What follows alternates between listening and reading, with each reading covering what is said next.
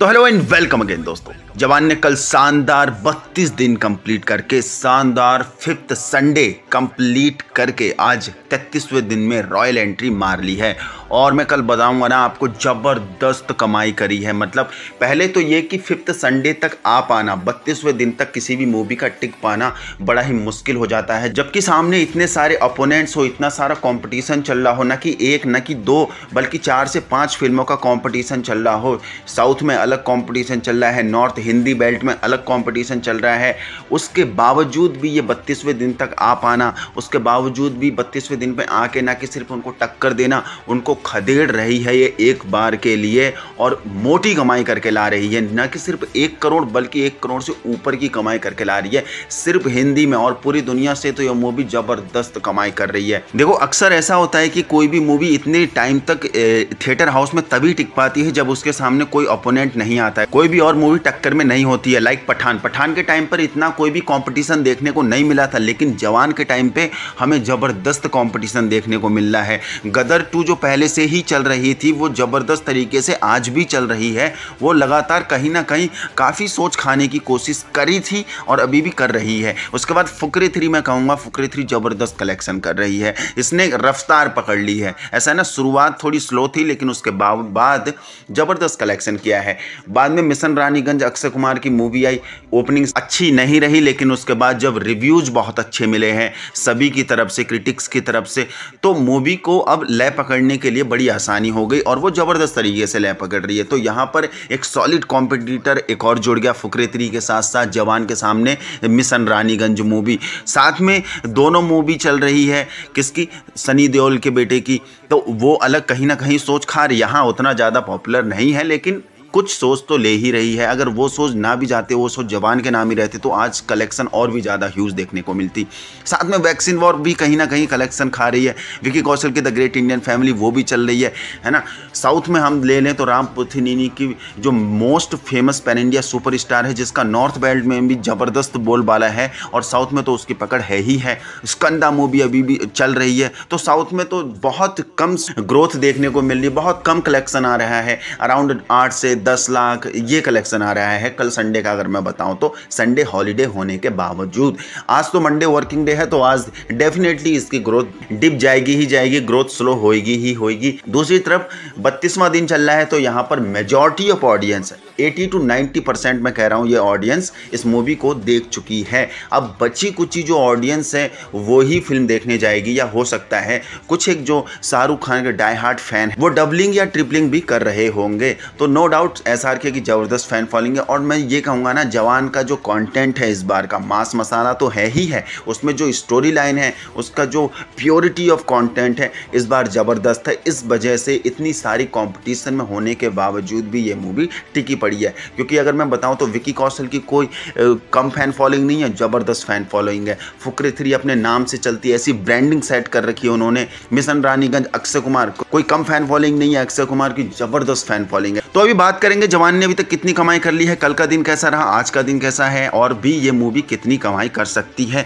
सभी बातों पर चर्चा करेंगे एक एक करके, लेकिन उससे पहले वीडियो के अंत तक ज़रूर जुड़े रहना है, और अगर नए हो तो चैनल को सब्सक्राइब और वीडियो को एक लाइक ज़रूर करना है। तो चलिए, शुरू करते हैं। दोस्तों, अटली कुमार के डायरेक्शन में मात्र तीन करोड़ के भारी भरकम बजट में इस मूवी को कंप्लीट किया गया है, जिसमें मेल लीड में आपको द किंग खान बॉलीवुड के बादशाह शाहरुख खान देखने को मिलेंगे। उसमें supporting cast is amazing villain Vijay Sethupathi is amazing उसके बाद story line is super fantastic content is super amazing socio political and corruption के मुद्दे पर ज़बरदस्त तरीके से बात उठाई गई है। साउथ के डायरेक्टर हैं तो साउथ का तड़का देखने को ही मिलेगा और वही ज़बरदस्त भी लगा। ओपनिंग मैं कह रहा हूँ, बहुत सॉलिड करी इस मूवी ने।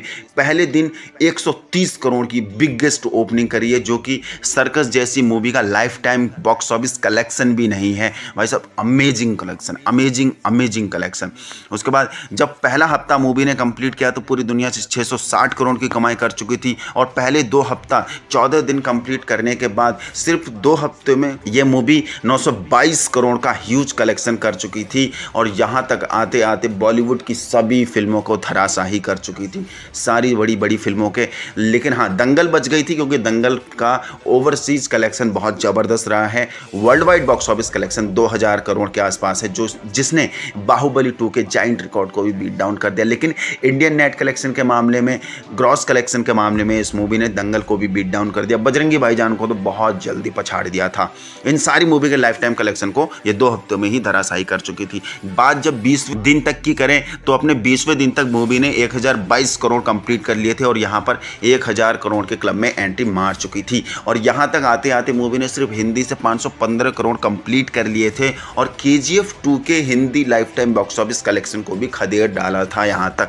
थर्ड वीक का मैं बताऊँ तो सिर्फ़ थर्ड वीक में मूवी ने नेट इंडियन कलेक्शन पचपन करोड़ का करा था, जिसमें सिर्फ़ हिंदी से बावन करोड़ आया था। थर्ड वीक एंड होते होते भी ज़बरदस्त कमाई करी। वहीं अगर मैं बताऊँ तो पच्चीसवें दिन तक मूवी ने पूरी दुनिया से एक करोड़ कंप्लीट कर लिए थे और यहाँ पर एक ज़बरदस्त मोमेंट क्रिएट हो गया था कि यार 1100 करोड़ ये मूवी शायद चार दिन में कंप्लीट कर देगी, लेकिन यहाँ पर संडे और गांधी जयंती का बहुत ज़्यादा रोल रहा और इन दोनों में जो ज़बरदस्त ह्यूज पकड़ी, इसी के साथ मैं बताऊँ तो छब्बीसवें दिन में भी ज़बरदस्त कमाई करी, सत्ताईसवें दिन में भी ज़बरदस्त कमाई करी। अट्ठाईसवें दिन तक आते आते मूवी ने ज़बरदस्त कमाई कर ली थी और यहाँ तक टोटल नेट इंडियन कलेक्शन छः 618 करोड़ हो चुका था, जबकि नेट इंडियन कलेक्शन के मामले में कोई भी बॉलीवुड की मूवी 600 करोड़ कभी टच ही नहीं कर पाई और इस मूवी ने न कि सिर्फ़ 600 करोड़ टच किए, बल्कि इसको क्रॉस भी कर लिया था। और यहाँ तक आते आते मूवी ने हिंदी में बाहुबली टू के लाइफ टाइम कलेक्शन के रिकॉर्ड को खदेड़ दिया था।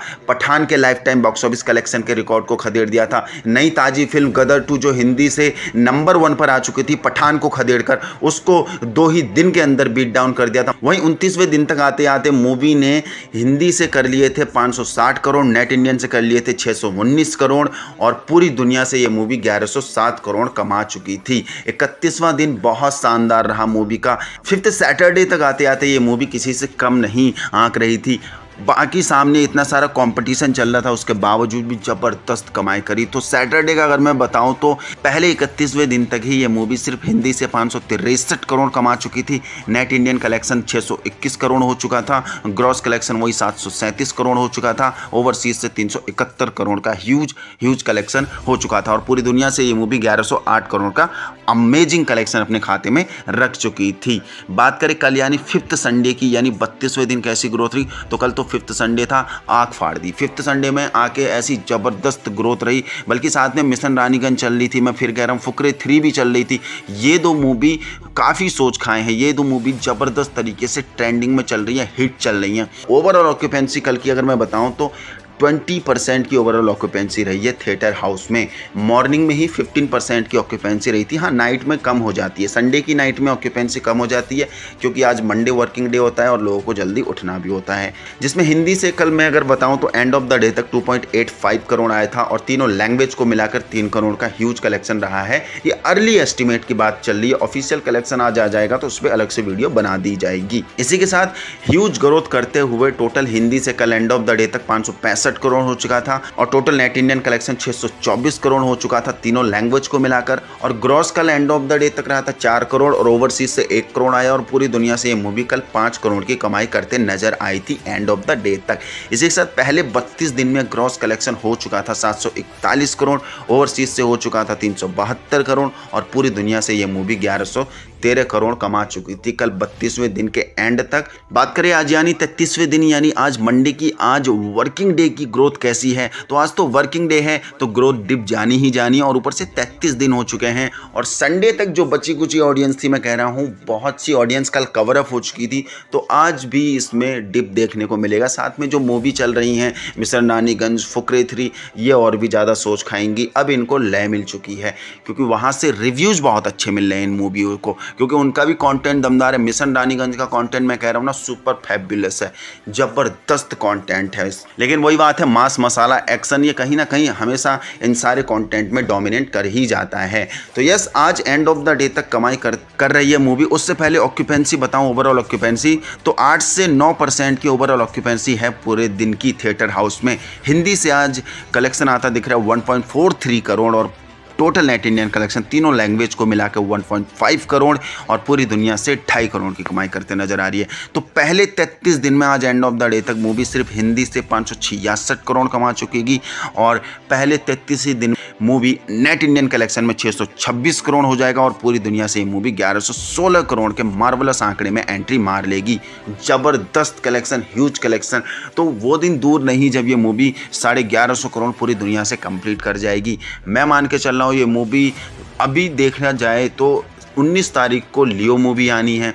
20 तारीख को गणपत मूवी आनी है और लियो के लिए नॉर्थ बेल्ट में जो हिंदी फैंस हैं, नॉर्थ बेल्ट के फैंस हैं, वो पी वी आर, आयोनक्स और सिनेपोलिस में मतलब मल्टीप्लेक्स में मूवी को चलाने की मांग कर रहे हैं। तो हु नोज़ अभी दस दिन है, दस दिन में कुछ भी हो सकता है। अगर मल्टीप्लेक्स में वो मूवी आ गई तो ज़बरदस्त कलेक्शन करेगी, ज़बरदस्त कॉम्पिटिशन देगी, ना कि सिर्फ़ जवान को, बल्कि गणपत को भी। दूसरी बात, अगर गणपत तो चलनी ही चलनी है तो डेफिनेटली जवान वहाँ से इराडिकेट हो ही जानी है। बहुत कम कलेक्शन देखने को मिलेगा, लेकिन ये मूवी काफ़ी पुरानी हो जाएगी और अच्छा खासा कलेक्शन तब तक कर ले जाएगी। तो साढ़े ग्यारह सौ करोड़ लाइफ टाइम कलेक्शन ये मूवी कर सकती है अगर 19 तारीख से पहले अच्छी अच्छी कलेक्शन रही तब, वरना 19 तारीख के बाद इसकी ग्रोथ पूरी पिट जाएगी। ये सारी कॉम्पिटिशन में जो मूवी हैं, सब पिट जाएँगी क्योंकि दोनों मूवी बहुत ज़बरदस्त कॉन्टेंट लेकर आ रही हैं। तो आप लोगों की क्या राय है? क्या ये मूवी साढ़े ग्यारह सौ करोड़ कंप्लीट कर जाएगी? जो भी आपकी राय है, नीचे कमेंट बॉक्स पर ज़रूर बता के जाना। बाकी मिलते हैं अगली वीडियो में। जय हिंद।